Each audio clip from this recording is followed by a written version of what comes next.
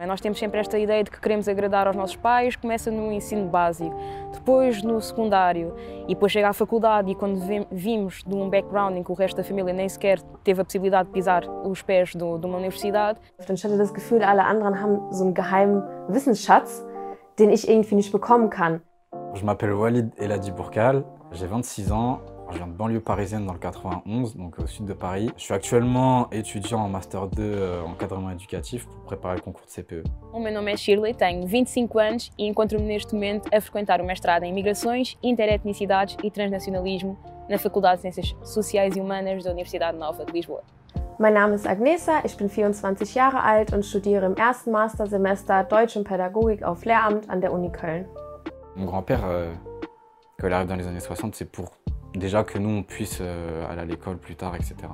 Et j'ai été euh, finalement le premier a aller jusqu'à la fac. As pessoas com quem eu cresci são portuguesas, sempre moraram cá, um, não frequentaram a faculdade, ou seja, eu acho que nós estamos a viver num tempo bem distinto deles, porque as questões naqueles tempos de todo não eram estas, no sentido em que a prioridade seria trabalhar para eventualmente conseguirem meter comida na mesa.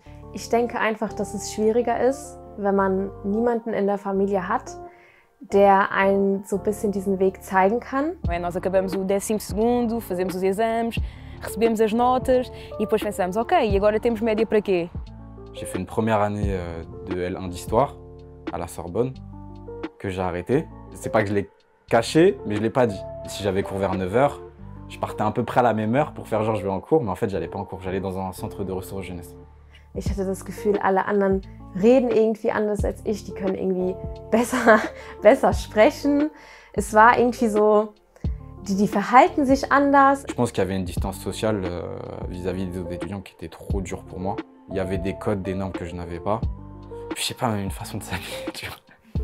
Ouais, ils mettaient des imperméables, des trucs comme ça. J'ai l'impression que c'était des ministres, en fait, j'étais encore avec des ministres. Et moi, je venais de mon quartier en jogging et tout.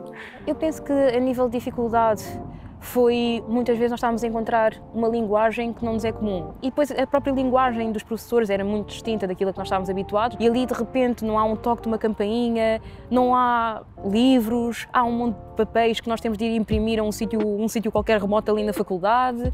Und ich hatte immer so das Gefühl, wenn ich in die Uni gehe, alle anderen wissen Bescheid und alle anderen wissen irgendwie, was los ist. Dann hatte das Gefühl, alle anderen haben so einen geheimen Wissensschatz Je pense que j'étais pas préparé et j'étais, j'y un peu en mode euh, la fac ça va être cool, je vais pouvoir grandir, etc. Sauf que euh, je me suis pris une rafale de, coups et, et, je suis tombé, c'est tout. Il y a toujours une période de ta vie où tu vas te rendre compte euh, de ta classe sociale. Et je pense que c'est ce qui s'est passé là-bas. C'est que je me suis rendu compte d'où je venais et que j'étais pas comme eux. Und ich habe gespart und ich habe schon während des Abiturs jeden Monat irgendwie 50 Euro auf so ein Sparkonto gelegt von meinem Nebenjob. Und ich habe auch schon relativ früh angefangen. Also ich habe so mit, mit 15, 16 hatte ich meinen ersten Nebenjob, dass ich halt wirklich viel gearbeitet habe, weil ich meinen Eltern nicht zur Last fallen wollte und ich wollte das irgendwie alleine schaffen. Quand je rentrais chez moi, la première chose que j'avais envie de faire, c'était de, euh, d'aller travailler, faire de l'argent. Quand tu vois ta mère galérer, et genre de trucs, en fait, euh, tu te dis, je serais mieux à aller bosser, rapporter de l'argent que, que faire des études, en fait. Uh, eu lembro-me que se não, se não estou a erro, no segundo ano, já senti um pouco essa, essa necessidade, porque aí sim senti uma pressão de estar, não a competir, mas perceber que estava num, talvez num nível socio-économique différent dos meus colegas. Il y a un truc un peu prestigieux aussi d'aller à la Sorbonne, sauf que d'y aller pour ne pas réussir, ça sert à rien. Et du coup, moi, j'avais trop honte pour le dire. Eu sinto que, através de mim, eles estavam quase a viver um sonho que eles não puderam viver, no sentido em que Claro, eles têm agora a possibilidade de me ajudar, de me pagar os estudos uh, de, nesta fase inicial, ou seja, na, na, altura da licenciatura, de me pagar os estudos, que foi, uma, foi algo, foi uma possibilidade que no tempo deles não era sequer uma hipótese, não era uma realidade. En fait, si je reviens, c'est avec le diplôme, sinon je reviens pas.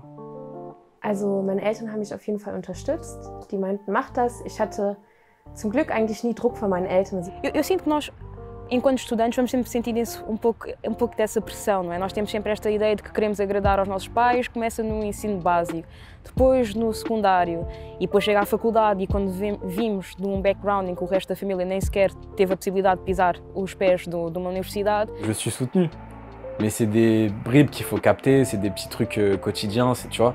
Mon grand-père, euh, il va pas me dire je suis fier de toi ou quoi. Ou... Tu vois, par exemple, je sais qu'il. Souvent, quand je vais le voir, il me fait un chèque. Il me dit, tiens, c'est pour la force. Eu acho que, pronto, claro, as, as, primeiras pessoas que reagem são sempre os avós, não é? A minha avó ficou, ah, minha doutora, a Shirley doutora, pronto. E eu nem sequer ainda tinha a licenciatura, mas já era doutora. Ela já começava a chamar no, nos jantares de família, nos almoços de família, doutora Shirley Van Dunen, para corrigir as pessoas uh, quando elas se dirigiam a mim. Quand j'ai préparé euh, l'après, au moins je sais que ça allait être dur. Je le savais, tu vois. J'ai travaillé au max mon orientation, j'ai retravaillé euh, tout ce qui est orthographe, tout ce qui est grammaire, tout ce qui est champ lexical. Je me suis blindé, blindé, j'ai lu beaucoup de livres, j'ai travaillé, travaillé, travaillé comme jamais. Ich denke, dass das System sehr segregierend ist und es ist auch nicht vom System gewollt, dass es alle schaffen. Das, die Schule hat auch sozusagen eine Selektionsfunktion. Je pense que je suis capable et je peux en fait apporter un, un plus à l'école. Tu vois. Et que c'est une forme aussi de revanche quand j'ai vu mon prénom avec écrit Master 2, CPE, non, non, non, je te jure, moi, pour moi, j'y croyais pas en fait. Je croyais pas, j'étais quand même ému. Ça, tu vois, je l'ai montré à ma mère.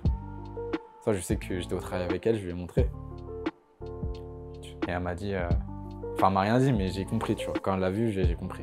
E eu penso mesmo que a universidade é uma das maiores fontes de conhecimento e que me formou não só enquanto estudante, mas também enquanto pessoa, porque o modo como eu fui confrontada com umas realidades diferentes das, mi das minhas, uh, coisas que eu não sabia sobre mim, aquilo que eu fui obrigada a aprender, outras que tive gosto e iniciativa em ir aprender. Ich glaube, dass die Repräsentation sehr wichtig ist, weil ich mich daran erinnere, dass als ich in der Schule war, ich meine, man weiß nichts über den finanziellen Hintergrund, aber dass ich nie eine Lehrkraft hatte, die einen Migrationshintergrund hatte, bis ich im Abi war. Und ich war einfach irgendwie baff, weil das war ja klar, dass das sein kann. Ich habe es einfach nie erlebt und das war für mich auch so eine Motivation. On est vachement récupéré pour euh, entre guillemets légitimer euh, le fait qu'il y en a qui réussissent, d'autres qui réussissent pas et que et c'est une façon de dire aux jeunes euh, regardez lui il a réussi, pourquoi pas vous? Donc c'est rejeter la faute sur euh, l'élève ou l'étudiant en fait qui n'y arrive pas. A minha tese é sobre o racismo e a educação. Eu sinto que é quase uma obrigação e aqui sim sinto uma pressão para mim e para os meus de fazer esta tese porque é um, é um legado que eu quero deixar um, porque pode mudar vidas, pode mudar percepções, pode fazer questionar e abalar estruturas que eu penso que precisam de ser abaladas. Uh, então é importante para mim que isto seja feito e que seja feito em específico em Portugal. Le fait d'avoir été élevé euh, par ma mère toute seule, de voir quelqu'un qui s'est autant battu, euh, qui a fait face à des difficultés et des obstacles, je pense que même moi dans mon parcours, euh, moi ça m'a vachement aidé pour moi, ma mère, c'est une lionne. Et euh, je me suis dit aussi, les chats ne font pas des chiens. Donc je me suis dit, peut-être, elle a un peu, elle m'a peut-être donné un truc que j'ai au fond de moi. Et je pense que je me suis beaucoup servi de ça dans mon parcours. Et mes études, c'est aussi une façon pour moi de lui rendre hommage.